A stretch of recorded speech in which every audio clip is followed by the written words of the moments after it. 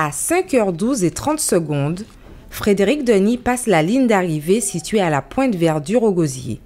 Devant un public essentiellement composé de passionnés et de la presse, c'est au Memorial Act que le skipper a retrouvé la terre ferme après deux semaines en mer et une légère frayeur à l'approche des côtes de Saint-François. J'ai entouré la quille dans un casier, donc, euh, et c'est vrai que direct j'ai percuté, j'ai affalé le speed et tout, mais sans prévenir un peu les bateaux autour, donc c'est vrai que je me suis dit ça peut être dangereux, puis je savais qu'il y avait un peu d'avance, donc euh, du coup j'ai affalé, j'ai euh, j'ai réussi à quiller, à m'accrocher aux filières pour aller chercher le bout, le couper. Et puis après, même déjà sous GV Solent, j'en ai retapé un troisième. Euh, Quand une telle avarie euh, arrive comme ça, à quelques encablures de la ligne d'arrivée, qu'est-ce qui se passe dans la tête?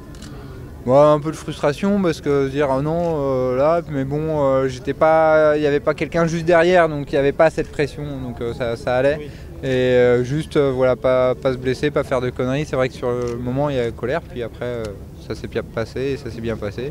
Pour ça, fini doucement parce que c'est vrai que euh, la traversée n'a pas été très reposante, on va dire.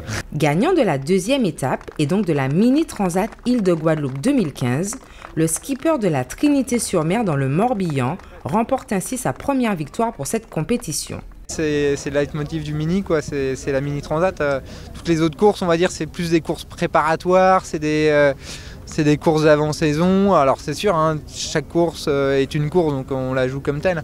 Mais c'est vraiment, on va dire, le Graal de la série. C'est cette mini transat. Donc ah, il y a deux ans, quand j'ai commencé le, projet, c'est vrai que j'y ai toujours pensé parce que j'ai toujours voulu préparer le projet pour ça, pour cette victoire.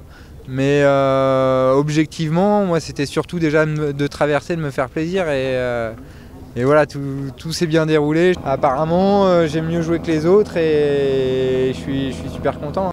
Pourtant, lors de la première étape, il se classait troisième à 9 h du premier, David Baudard sur Flexirub, qui a dû abandonner au début de la deuxième étape. Les autres skippers sont attendus dans la nuit à la Marina Bas du Fort après 13 jours de course. Sauf avarie ou problème de dernière minute, l'arrivée des deuxième et troisième, Michele Zambelli et Luc Berry, est imminente.